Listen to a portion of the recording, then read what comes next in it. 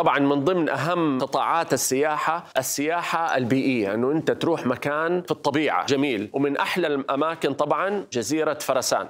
أستاذ ماجد طبعا. يا هلا وغلا. مرحبا ألف. يلا نشكره حي. على ال- طفشة. الطفشة. صح طبشه الطفشة. الطفشة من الطفش نعم، ولا الطفشة. من أن تحمي من الطفش؟ لا. تحزيل الطبش تزيل الطفش. تلبسها تصير ما أنت طفشان ابدا. حنوريكم تجربة جميلة لأول مرة تتسوى في فرسان إن شاء الله مع. الأستاذ ماجد إحنا حنروح لفين دحين؟ إيش حنسوي؟ الحين آه، بنروح لمنطقة فيها مانجروف أشجار مانجروف تكوينها طبيعي جميل متقاربة جدا تحمستوا؟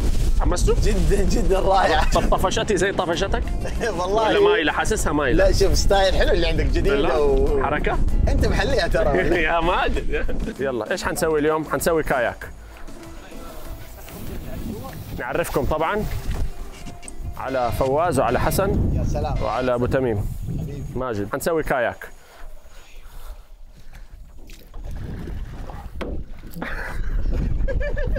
واضح. واضح الخبرة.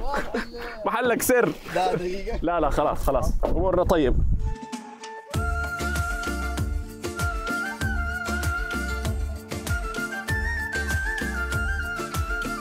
تعالوا تعالوا شوفوا هنا المانجروف من قريب. تعالوا. هذا الشجر جذوره بتطلع الموية المالحة وتحولها لموية عذبة تغذي الشجر. سبحان الله. فهي يعني مصنع تحلية. طبعا السياحة أنواع. من ضمنها السياحة البيئية. طبعا هذا معروف. شلالات نياجرا. تتخيلوا كم زائر سنويا؟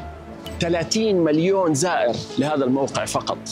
السياحة الترفيهية. ديزني وورلد 20 مليون زائر. السياحة التاريخية الأهرامات تقريبا 15 مليون زائر سنويا. السياحة الثقافية متحف اللوفر. السياحة الفنية دار الأوبرا في سيدني. كلها أماكن بيزوروها عشرات الملايين من الزوار والسياح سنويا. 2019 لوحدها تخيلوا. فقط 2019 مليار ونص سائح سنويا. يعني السياحة هذه لو كانت دولة حيساوي عدد سكانها عدد سكان الهند زائد مصر مجتمعين. فهو قطاع ضخم. من ضمن الأمور يعني اللي نبغى نروج لها ونحفز عليها تنوع النشاطات البحرية. فالكاياك هذا إحنا جايبينه ترى يعني ما هو موفر في المنطقة. أول مرة ناس تركب كاياك في هذا المكان. الرسالة إنه من ضمن النشاطات السياحية اللي ممكن تتسوى فكرة الكاياك. طبعا في شرط شرط أساسي جدا يا أبو تميم إيه. اللي هو ما أدري. لما تيجي هنا تفصل. مو تجلس هنا وأنت قاعد على ال social media وتفصل. disconnect to connect افصل لتتصل. أنا ما سمعت شيء بس وش الحكمة؟ ما سو... هي بس شكله بقول كلام أنا مهم. حتى أنا ما شكلي. افصل لتتصل. بس فهمت فهمت خلاص. إذا أنت قلت لي ها المشاهدين إيش إيش حيقولوا لي؟ حيقولوا؟ لا لا بس disconnect to حكيم connect حكيم يا أبو يوسف والله. الله يخليك. والله حكيم. أنا لو آه، كنت مغمض عيني كده ورموني في حتة حطوني هنا وقالوا لي أنت فين؟ يعني كنت حقول هولندا. لو غمضوا عينك وحطوك هنا بدون ما انت ما تعرف انت فين. أيوه. فين تتوقع؟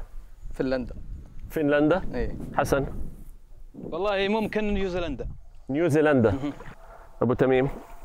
هولندا. غشاش. يعني ماني عارف أنا ماني طفشان لأني لابس الطفشه طفشة. يا سلام. ولا ماني طفشان لأني في وسط المانجروف. سلام.